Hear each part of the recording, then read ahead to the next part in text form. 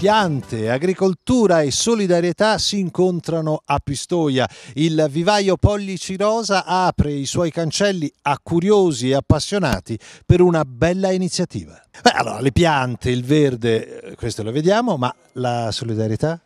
Bene, la solidarietà sta qua, con questo progetto di Donne in Campo, associazione totalmente al femminile, di cui anche noi, Pollici Rosa e questo vivaio fa parte, e aiutiamo tutte insieme donne aiutiamo altre donne, eh, donne che hanno subito violenza per questa associazione di Montecatini che si chiama 365 giorni al femminile.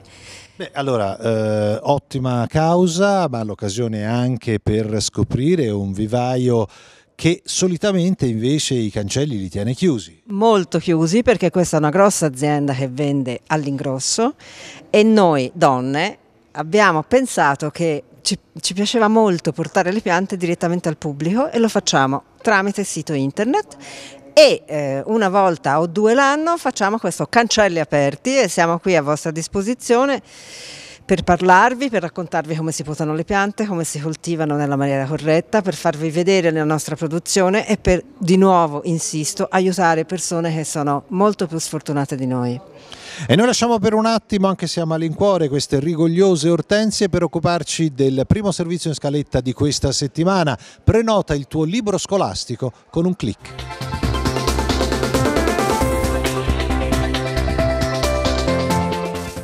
L'ultima campanella è suonata da poco, ma la caccia per riempire lo zaino inizia adesso. Se comprati al supermercato, i libri scolastici pesano meno sul portafoglio. Se si è soci di Unicop Firenze, nel caso dei testi nuovi, si può arrivare a risparmiare un quarto del costo totale. Per esempio, su 100 euro spesi se ne risparmiano 25.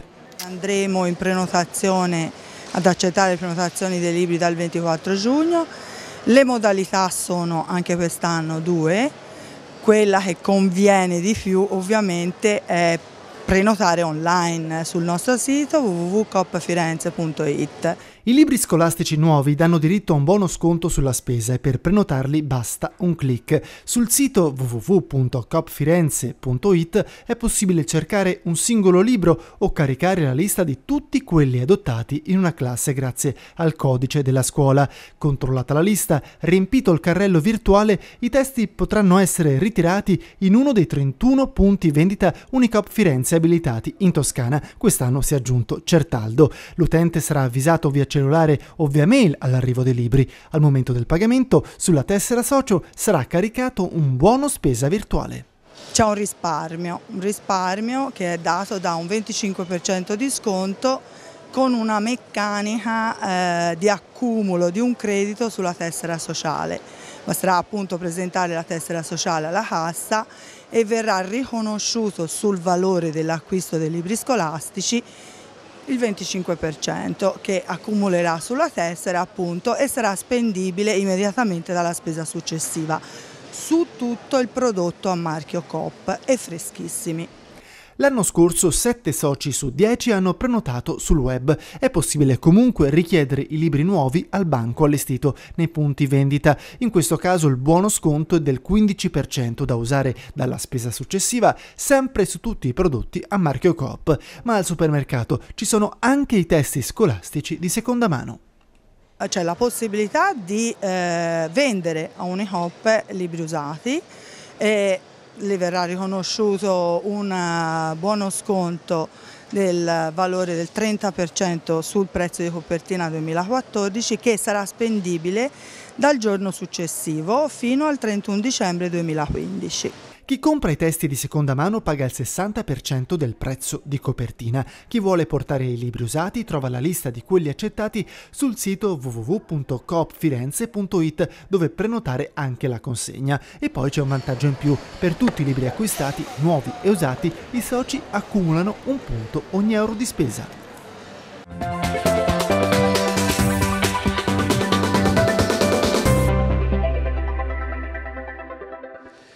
Siamo circondati da frutti e i frutti di questa collaborazione tra la sezione soci di Pistoia e Donne in Campo si cominciano a vedere. Certamente sì, è molto bello, era quello che ci si aspettava e ora siamo arrivati.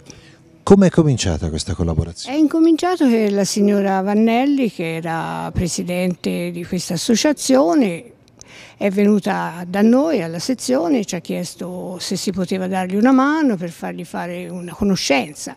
E noi le abbiamo fatto fare una un'esposizione di piccole piante di lavanda subito dopo le feste di Natale nel corridoio della Coppe di Pistoia ed è stato meraviglioso perché naturalmente senza lucro perché noi si è chiesto per loro solo un'offerta. Un loro davano la piantina e chi voleva offrire qualcosa che andava anche al cuore si scioglie. Ci saranno altri progetti in futuro? Penso proprio di sì, che si rifarà ancora qualcosa con la signora che ne dobbiamo parlare ormai a settembre perché si sa l'estate poi porta a venire nei vivai, ma non a, a farlo nella, nella sezione o, ne, o, nel corridoio, via.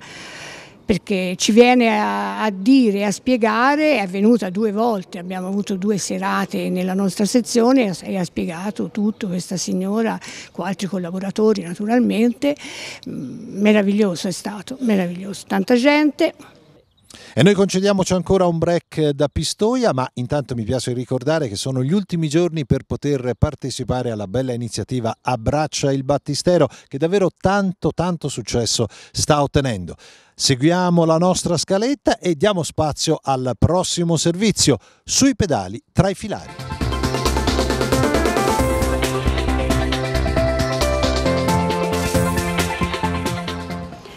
La adoro più invecchia e più migliora. Io me ne accorgo. E gli appassionati pure. È una storia tutta in sella, quella che viene letta nel centro commerciale Coop di Gavinana a Firenze Sud, ospite della Bibliocoop, sui pedali, tra i filari, l'ultima fatica di Emiliano Gucci, autore fiorentino che vive a Prato. Dopo quattro romanzi e una raccolta di racconti, Emiliano Gucci pubblica un'opera che è allo stesso tempo un romanzo, una guida e un racconto in prima persona dedicato a una passione rinata in età adulta, quella per la bici. Ho riscoperto la bicicletta pochi anni fa, eh, ho quasi 40 anni, non pedalavo da quando ero bambino, ho ricominciato a prenderla intanto per, per la, la normale routine quotidiana, quindi andare al lavoro, fare le piccole commissioni.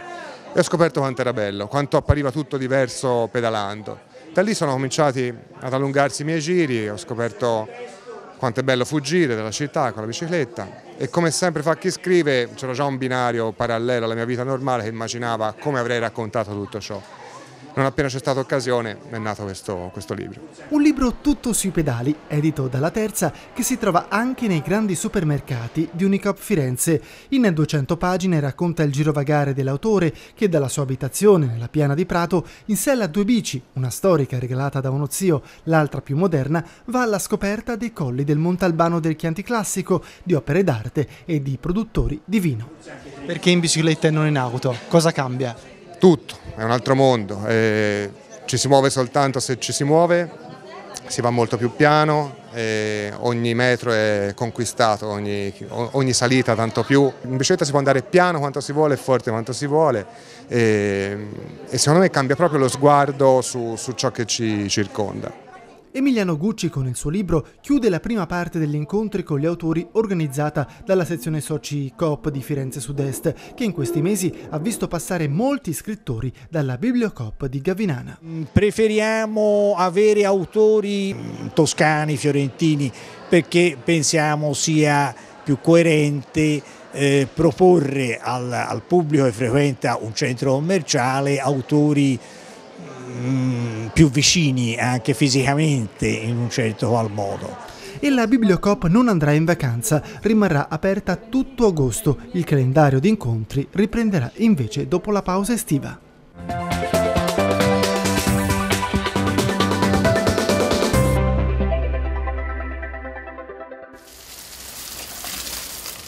E noi proseguiamo il nostro curiosare all'interno del, del vivaio Pollici Rosa è un vivaio che ha quale particolarità?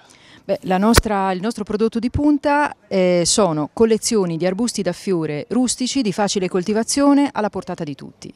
Come questo alle nostre spalle? Questo ne è uno splendido esempio ed è una Budleia davidi, di cui ne esistono tantissime varietà ed è noto come albero delle farfalle perché questa fioritura è particolarmente appetita da questo tipo di insetti che ci stazionano a lungo.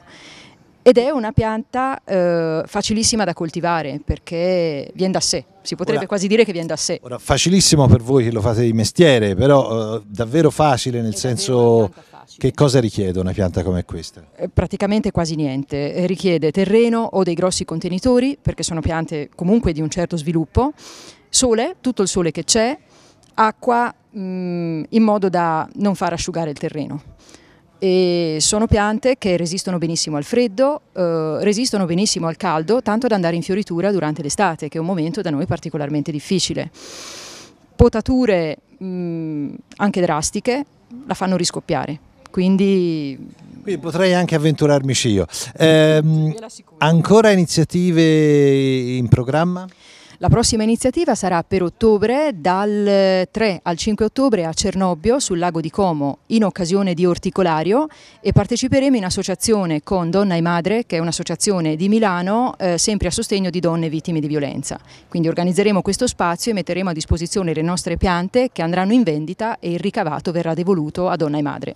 Perfetto, grazie, grazie davvero, grazie per, eh, per per l'ospitalità, ma per questa bella iniziativa. Noi ringraziamo ovviamente anche voi e l'appuntamento è tra sette giorni. Ciao a tutti.